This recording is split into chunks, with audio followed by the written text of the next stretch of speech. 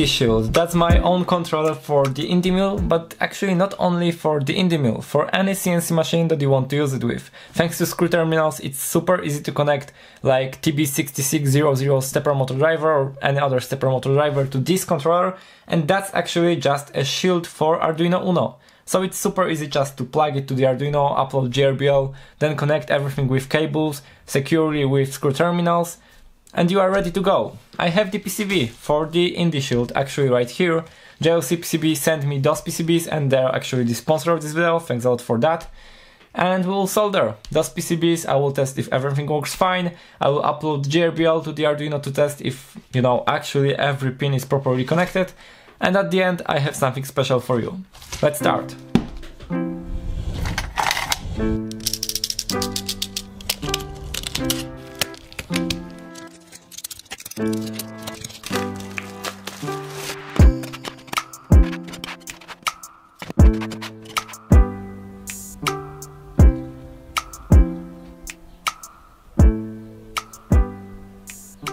It is so perfect. I tried possibly every single color of the solder mask like blue, yellow, red, white, green and the matte black is just the best of all. I love the matte black PCBs.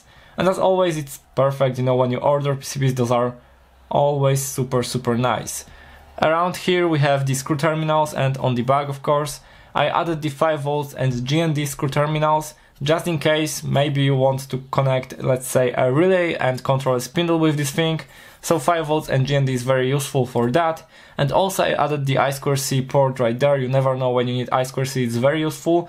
And everything is right here clearly labeled. You have the voltage in probe X Y Z end stops so you can also connect end stops that I will of course do on the IndyMill here you have the connectors for the motor for the X, Y and Z and of course if you want to mirror the Y axis you just need to connect two cables to every single screw terminal. Here we have the start hold buttons, spindle enable, cooling, spin direction and reset. And of course we have the holes for the gold pins that will attach the Arduino to with and some holes for the screws. And that's it for the PCB. Not really sophisticated, not a lot of connections, it's actually quite simple quite nice looking tidy PCB. I tried to pack everything so that it's not really that big. And now I will show you how it looks like on the computer when it comes to the schematic and PCB layout and then we'll solder this thing. Here is the schematic. As I said, it's extremely simple. That's probably one of the simplest PCBs that I've ever designed. I think so. Everything is divided to sections so that it is super easy to see where everything is connected. Here are the end stops, as you can see just a limit switch is connected to the GND. What else do we have here? We have the control section. I mean, those are the buttons for reset, hold, start, cool, and probe. Let's move on. Here we have, of course, the stepper motors with the enable pin, GND. Here is the I2C. And right here on the bottom, we have the spindle, and that is for the spindle direction and spindle enable pin. And that's it for this schematic. As I said, extremely simple. But simple is not a bad thing. Let's move on to the board. So here is the board, of course, after clicking where it is the ratsnest command. Here it is. You also see all of the GND and VCC on the other side of the board. So there is really not a lot of connections. Let's move on to the bottom. As you can see, just few connections on the bottom, few connections on the top but that actually makes it super easy to connect without any modification of the original GRBL shield. I know that some people may really love that I make a video about such a simple PCB, but it's great, you know, it's simple but it's also extremely useful for the whole IndyMill project, it will simplify all of the connections a lot, it will be secure thanks to the screw terminals, and I hope it will be useful not only for me for the IndyMill project, but maybe for you for your own CNC project that you are working on. So now we can move on to soldering.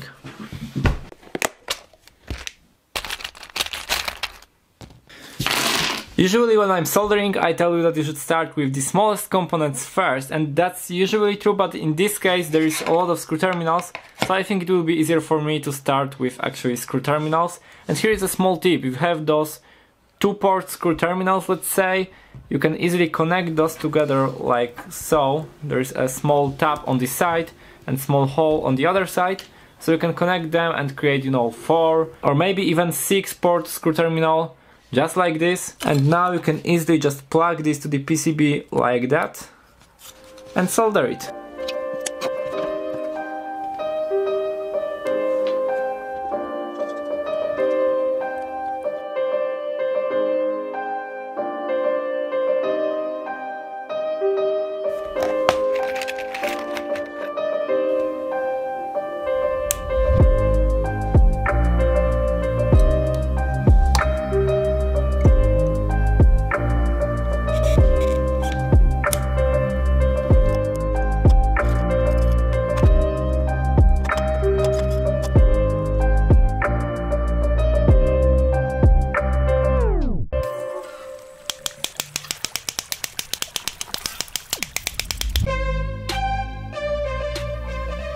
Soldering that 100% fun. It was you know like 30 minutes of just playing with soldering iron and soldering the PCB like I will put on if you imagine the scale of soldering let's say this project was exactly right here. Here you have projects with so small amount of components that it's not really fun to solder them. You just can't enjoy the process and right here you have projects with hundreds of SMD, super small SMD components that are hard to solder. You can't enjoy it because you think so much about how to solder each component.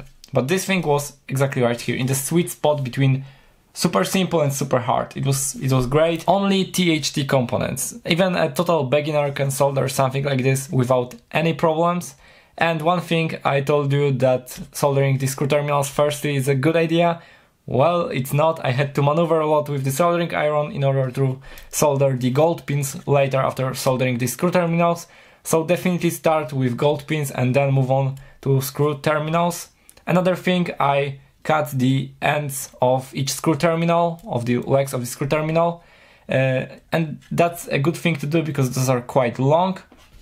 But there is still a problem because when you connect that to the Arduino Uno, those connectors of the y-axis end stop touch the case of the USB socket and that's something that shouldn't happen definitely. So I will put a piece of tape on the Arduino Uno right there on the USB socket and that should be fine.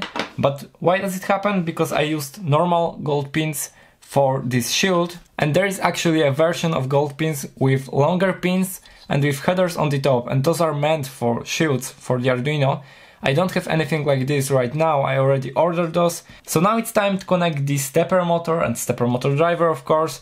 Uh, then I will burn the GRBL on the Arduino Uno and we'll see if IndyShield is fully working. But before we jump into that, a quick message from the sponsor of this video. At jlcpcb.com you can order professionally manufactured PCBs for as low as $2 for 5 boards. They have really clean, easy to navigate website with a decent Gerber viewer so that you can check if your files are okay before placing an order. You can choose from green, red, blue, yellow, white and black solder mask at no additional costs. Also multi-layer PCBs, PCBA that means PCB assembly and SMT stencils are not a problem for them and they produce those boards faster than my procrastination would make them at home. Check out link to jlcpcb.com in the description and visit their website. Thanks a lot jlcpcb.com for sponsoring.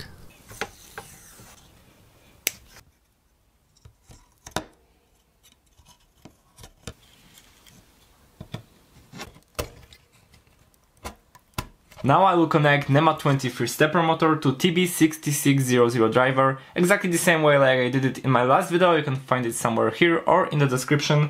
And for that I will use the original motor cable to connect motor to the stepper driver, and then you can use any kind of cable to connect the stepper motor driver to the shield, to the IndyShield, because you have screw terminals and that's cool.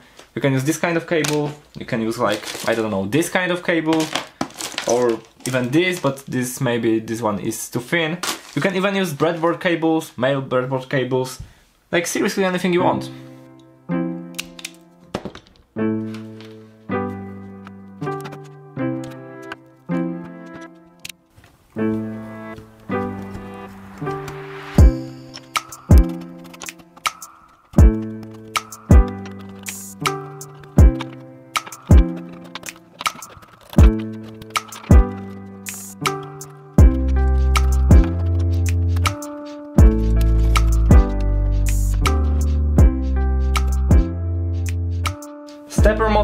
Stepper motor driver connection is pretty simple, just 4 cables, nothing to do wrong with that.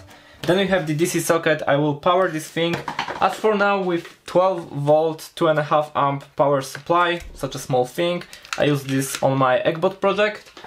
And in the IndyMill, I will most likely use this monster. This is 12 volt 30 amps power supply, an overkill for sure. Uh, but I have this for a long time, when I was building the Dremel CNC I bought it. And you know, I just have it so I will use it, but probably like 12 amps power supply also would be enough for this kind of motor, I mean four of these motors.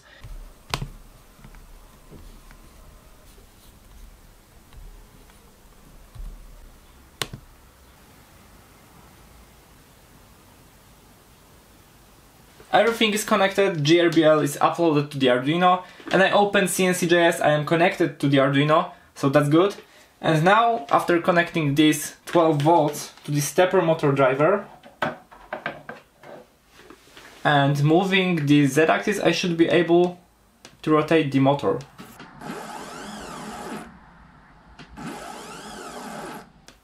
And I am, so it is working. I just changed the cables, right now it is connected to the y-axis motor, so let me plug the USB cable and power supply. So now the same motor should be controlled as y-axis motor I'm really happy that IndyShield is working fine because it will highly, highly simplify the build of the IndyMill. Hopefully the electronics part will be really clean and you know I want to close that in a box. Hopefully that will be a good idea. Uh, as for now, IndyShield 100% success.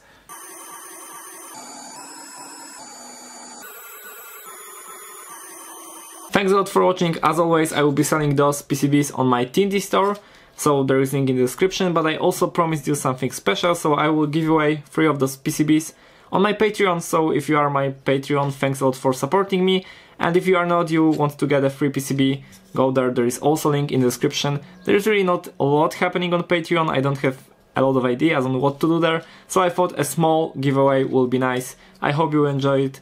Thanks for watching, happy making, bye!